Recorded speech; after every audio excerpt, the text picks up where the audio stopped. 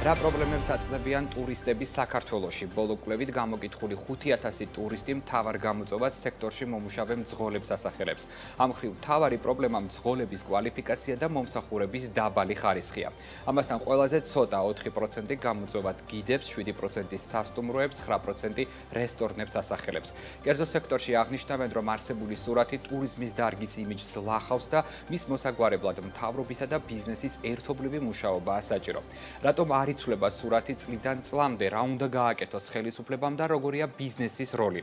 რენტო ჯგუფის დამფუძნებელი და მართველი პარტნიორი ნიკოლოს სირაძესთან ერთად ვაგრძელებთ თემაზე საუბარს. გამარჯობა. ნიკოლოს, მადლობა რომ მონაწილეობას იღებთ გადაცემაში. მადლობა თქვენ მოწვევისთვის. მოკლედ, ამაზე საუბარი რომ მძღოლები არის ერთ-ერთი მთავარი პრობლემა, რომელსაც ასახელებენ ტურისტები საქართველოსში ჩამოსვლის შემდეგ 2019 წლიდან მიმდინარეობს. რა შეიცვალა 4 წლის განმავლობაში? გვაქვს თუ არა უკეთესი ვითარება და ზოგადად რა რა პრობლემას აწყდებიან ტურისტები ქართულ მძღოლებთან ურთიერთობის დროს? მადლობა გიგა ამ თემას რომ შევეხეთ. ზოგადად ტურიზმი საქართველოსთვის ძალიან მნიშვნელოვან როლს თამაშობს ეკონომიკის პრაქტიკულად 10% უჭირავს და შესაბამისად ტურიზმი შედგება რამდენიმე მნიშვნელოვანი ფაქტორისაგან. ეს არის უმსხვილესი მოთამაშეები, ეს არიან ავიახაზები, სასტუმროები, რესტორნები და მათ შორის მერე მოდის უკვე აღმასრულებელი პირები, რომლებიც არიან გიდები, მძღოლები და ასე შემდეგ. 2019 წლიდან დავიწყეთ ამ თემაზე საუბარი, რადგან პროცესში, როგორც ბიზნესში, ბიზნეს პროცესებში ჩვენ უკვე ხვდებოდით, რომ ძალიან დიდი და სერიოზული პრობლემების წინაშე იდგა ჩვენი სერვისი. გულისხმობდით, ანუ ინვესტიციებს ვაკეთებდით მაღალი ხარისხის საავტომობილო რესურსებში, თუმცა მაინც ვიღებდით ნეგატიურ უკავშირს. დავიწყეთ ამის გამოკვლევა და აღმოვაჩინეთ, რომ თავარ პრობლემას წარმოადგენს ადამიანური რესურსი. ანუ ძღოლები იყვნენ თავარი პრობლემის შემოადგენელი ნაწილი და დაიწყეთ უკვე ამაზე მსჯელობა თუ როგორ მოვაგვაროთ ეს ყველაფერი. ნუ ჯერ დაიწყეთ, ასე ვთქვათ, სახელმწიფოსთან კომუნიკაცია, რომ აი როგორ შეიძლება ეს ყველაფერი გადაუჭრათ. შემდეგ აღმოჩნდით რამდენიმე ბიზნეს ასოციაციაში, რომლებიც მსჯელობდნენ სხვადასხვა პრობლემებზე და აიდენტიფიცირებდნენ და მეორე უკვე მიდიოდა დიალოგი სახელმწიფოსთან გადაჭრის გზებზე. აი სადამ ამ მოგვარებამდე მივალთ და ვისაუბრებთ თუ როგორ აპირებთ ან დაიწყეთ დაიწყეთ მოგვარება, მანამდე რომ გითხრათ რა პრობლემებს უქმნიან მძღოლები ტურისტებს, რა გამოწვევებს აწყლებიან აქ ჩამოსვლის სტუმრები. პირველ რიგში ეს არის არაპროფესიონალიზმი, აქ იგულისხმება უსაფრთხოების მიმართულება, ზოგადად პროტოკოლი, ქცევის კოდექსი, ეს არ არის უბრალოდ გადაადგილება A პუნქტიდან B პუნქტამდე, ეს არის მომსახურების შექმნა, ჩვენ რეალურად ვართ სატრანსპორტო ბიზნესში, რომელიც ემსახურება ტურისტულ ინდუსტრიას, ანუ სახელმწიფო ხარჯავს უზარმაზარ რესურსებს, კერძო სექტორი ხარჯავს უზარმაზარ რესურსებს, რომ მოვიზიდოთ ქვეყანაში ტურისტული ნაკადები.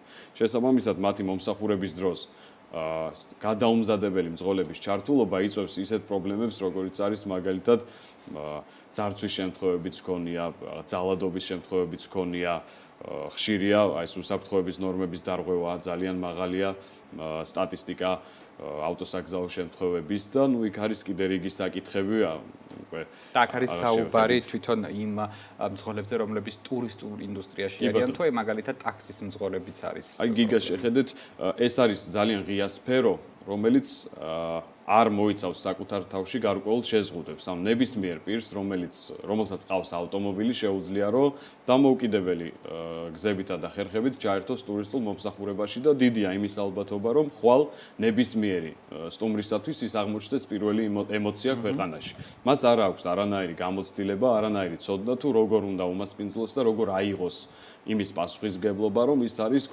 ქვეყანაში შემოსული ტურისტის პირველი ემოცია.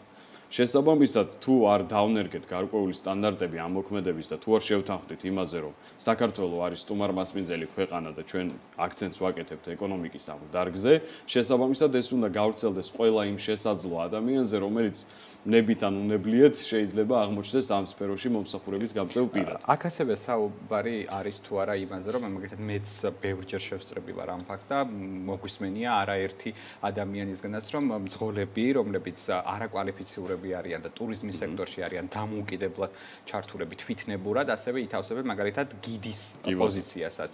არის თუ არა ასეთი შემთხვევები და რამდენად მასშტაბურია ეს და ასევე როგორ უქმნის ის საფრთხეს ტურიზმის სექტორს და როგორ ლახავს იმიჯს დარგის. ჩვენ ზოგადად იდეოლოგიურად ვეწინააღმდეგებით აი გიდის ადამძღოლის ერთ იდეაში გაწევრიანებას, იმიტომ რომ ზოგადად მძღოლის პროფესია და სფერო არის ცალკე დამოუკიდებელი მიმართულება, ხოლო გიდის საერთოდ სხვა. შესაბამისად, ამის მიქსაცია კატეგორიულად დაუშვებელია და პლუს, როდესაც არაპროფესიონალი ადამიანი ითავსებს ამ ყველაფერს, დამერწმუნებით, რომ ეს ვერანაირად ვერ იქნება ტურისტულ ინდუსტრიაში შეტანილი წვლილი დადებით ხარისხში აყვანილი. გარდა მძღოლებისა დასახელებული არის ასევე მაგალითად გიდები, სასტუმროები, რესტორნები მართალია 4, 7 და 9%-ით, მაგრამ მაინც გამოწვევად რჩება ეს და ნუ ჩვენ ვიცით რომ გიდები ისედაც პრობლემაა ამ ქვეყანაში.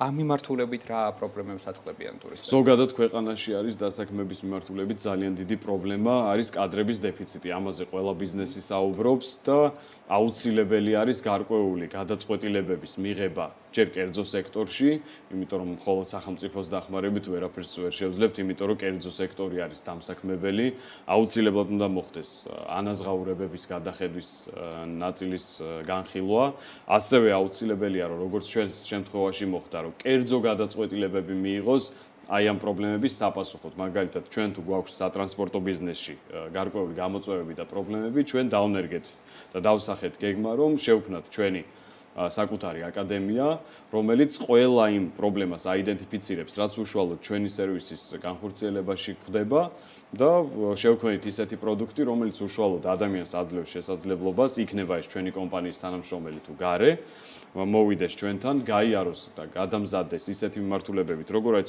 უსაფრთხოების მართვა, უსაფრთხო და ეკონომიური მართვა, პირველადი სამედიცინო დახმარება, პროტოკოლი, ქცევის კოდექსი, სპეციალიზირებული ენები, უშუალოდ ძღოლს რაც ჭირდება მომსახურების გასაწევად და საბოლოო ჯამში ვიღებთ პროდუქტს, რომელიც უკვე ღირსშესანიშნავი არის მომხმარებლისთვის და გარკვეულ სტანდარტებზე შეიძლება საუბარი და აქვე გაგვიჩნდა ის იდეა, რომ სახელმწიფოსთან ასე ვთქვათ, გარკვეული კოლაბორაცია შევქნათ ამ მიმართულებით. და არის თავრობა თქვენთან კომუნიკაციაში ერთობლივად აკეთებს თუ არა ამ გამ თუ არა ნაბეჯებს უბრალოდ მიმართულებით და ასევე საინტერესო ტურიზმის შესახებ კანონი, რომელიც სიახლეა ამ სექტორისთვის, აგვარებს თუ არა ამ საკითხებს, რომელზეც მან ახლა. კი ბატონო, ეს არის ძალიან კარგი დასაწყისი ტურიზმის შესახებ ახალი კანონი. სახელმწიფოსთან ჩვენ ამ მიმართულებით დავიწყეთ უკვე 2019 წელს კომუნიკაცია ტურიზმის ეროვნულ ადმინისტრაციასთან ადმინისტრაციასთან, ასევე განათლების სამინისტროსთან და ყველა ღიად და დადებითად შეხვდა. ამ ყველაფერს,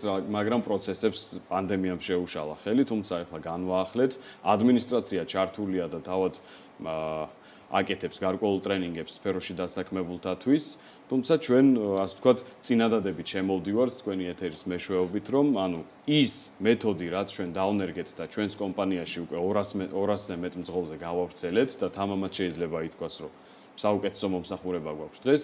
თამამად შეგვიძლია რომ ეს ყველაფერი სახელმწიფოსთან თანამშრომლობით თანმიმდევრულად გავაფართოვოთ, ჯერ გარკვეული ჯგუფები უშუალოდ ვინც არიან ჩართული სფეროში, მათზე გავრცელდეს და მათზე მოხდეს გადამზადება და შემდეგ უკვე შეგვიძლია მსჯელობა თუნდაც ნებისმიერი სატრანსპორტო საშუალების ძღოლისათვის გავაკეთოთ ეს კურსი, ვინც უშუალოდ ჩართული არის ამ სფეროში. არ მოყვებათ ამ ხრივ თავრობა?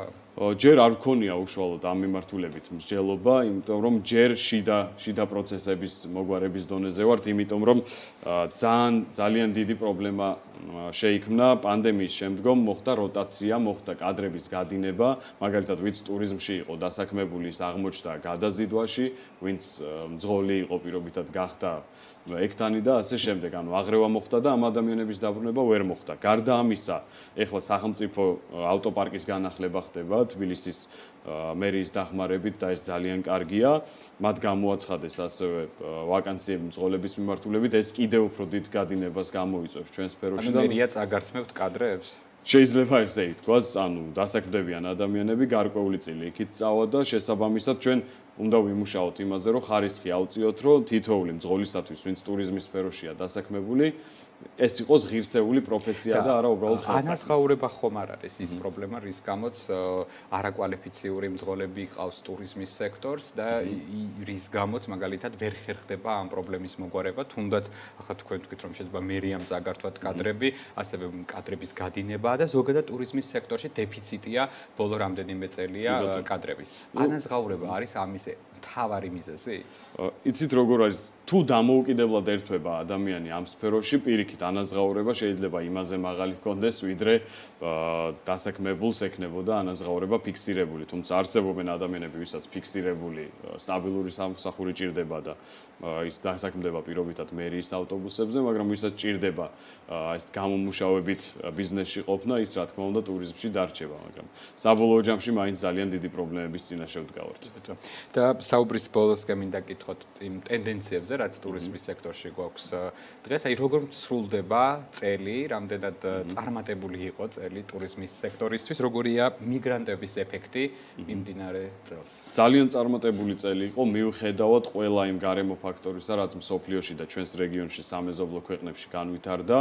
ქვეყნის ასე ვთქვათ ეკონომიკური წინსვლა ამ ნაწილში სტაბილურად წინ მიიწევს. ფიქრობ, რომ ალბათ უკვე 2024 წელს გაუთანაბრდებით იმ ნიშნულს, რაც პანდემიამდე ქონდა ეს დიდებული ოქროს ხანა და რავი, ეკონომიკა მოკლედ ძალიან სტაბილურად მიიწევს ამ მიმართულებით.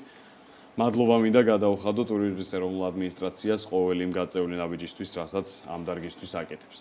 და ყველაზე მეტად საიდან იყო აი აქტიურობა, რომელი ქვეყნებიდან შეიმჩნეოდა თქვენი გადმოსახედიდან და აი მიგრანტების ეფექტზეც მინდა ისე ვკითხოთ თქვენ წაღად არ გაგიციათ პასუხი ამაზე, შეიმჩნეოდა თუ არა წელს ისევე ეს ეფექტი როგორც შარშან იყო და მომავალ წელს რას ელოდებით? კი ბატონო. მიგრანტებმა ნელ-ნელა დაიწყეს არის უკვე ქვეყნის დატოვება და ეს ძალიან სასიხარულო არის.